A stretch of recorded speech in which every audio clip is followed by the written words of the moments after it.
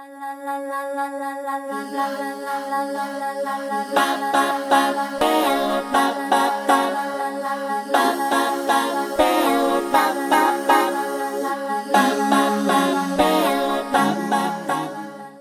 I'm just out in the garden today, the first nice day we've had since in a good couple of weeks. It's been raining on and off for, for ages, ages and ages, which can't complain because it fills the water butts up and it waters the garden for me, so that's fine.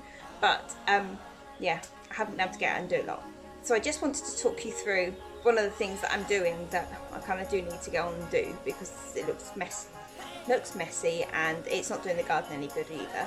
Um, my pea plants they've been broken in the wind. So they've come away from their supports, they've snapped off at base, so they're they're obviously dying off, um, and they just need they need removing a little bit. So there's only a few of them. I've got other ones growing in the garden, but um, I want to show you what I'm doing with them and why I'm doing it. See you in a bit. So I need to tackle these peas today. Um, they've suffered a little bit of wind damage, should we say. They've, their stems are broken. Um, they're starting to go over a little bit, but they have suffered a bit of damage. So I'm going to um, remove them today. I've got other peas growing in the garden, so it's fine. And I've got some more in the greenhouse ready to be planted out another day. but today these will be going. so although there are some good shoots still on them, the majority are broken off at the bottom, so they do need to come out the good thing about peas with their um, nitrogen fixing nodules and their roots is that they will keep um, fixing the nitrogen into the soil after the plant has been removed. So if we cut the plants off at the base and we don't remove the root system, we can keep that um, nitrogen source in the soil and it will keep feeding the rest of the plants in the flower bed or the vegetable bed. So that's what I'm going to be doing today. So I'm just going to cut them off at the base they haven't already snapped. This one's snapped. Remove them from their supports.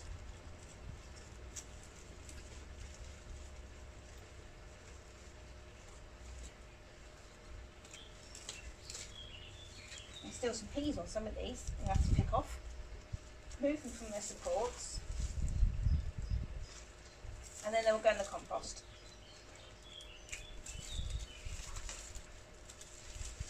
but I'm leaving the roots in the ground as they can it's a shame these snap, they're really good plants but there we go. That is the power of nature. So I'm going to leave the roots in the ground obviously to keep the um, nitrogen fixing nodules in the ground ready to keep releasing the nitrogen. Um, they will eventually like disperse they will eventually wear out so but they will go into the soil condition the soil up. So I want to keep them there. As I say, the pea plants host down nicely, so that's fine. And then there's the root systems that for the soil. So they're an all-round good plant. Give it a good old weed around here now. Now they've gone. The wind we had recently really damaged a lot in the garden. So it's good to have a bit of a tidy up uh, and retrain everything. So if you've got pea plants growing and they have had some damage from the wind, or you need to retrain them, um, or they're just going over, don't rip them out completely from the roots. Leave the roots on the ground let the roots keep fixing the nitrogen in to the soil to keep benefiting it. Again, they'll break down on their own in their own time, so they won't do any damage or anything to the soil. You won't have to dig them up later. They'll just break down on their own. But there's a lot of benefit to leaving the roots in the soil. So, little tip for you there until he's been on in a while, they've well and truly attached themselves.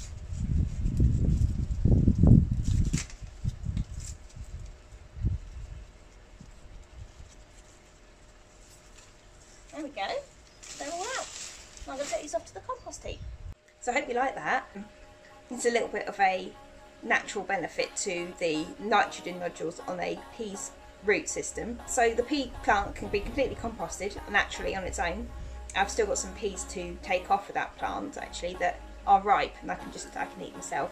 Um, but there are some older ones on there that are a bit um, fibrous, shall we say, fibrous. Um, so they'll be going in the compost heap. But the root system staying in the ground the nodules will keep releasing all that nitrogen well after the pea plant's gone and um, will naturally break down in the soil over time. So all the plants that are in, like the courgettes and the lettuces and everything else in there that takes up the nitrogen, um, will be quite appreciative of the um, nodules in the ground, so leaving them behind rather than ripping them up with the plants. So, as I say, you don't need to worry about digging them up later, they'll just compost down on their own. So I hope that's a good tip for you and it will help sort of feed your garden naturally if you like. But yeah, um, always remember that with anything pea related or bean related, these the, so, um, leave the roots in the ground and they'll keep on with the nodules, they'll keep on adding that nitrogen to the soil well after the plant's died. So there we go. So I hope you enjoyed and um, like and subscribe if you like this tip and check out my other videos as well on the page. And yeah, if you enjoy it, give us a thumbs up. So I'll catch you later, catch you in the next video.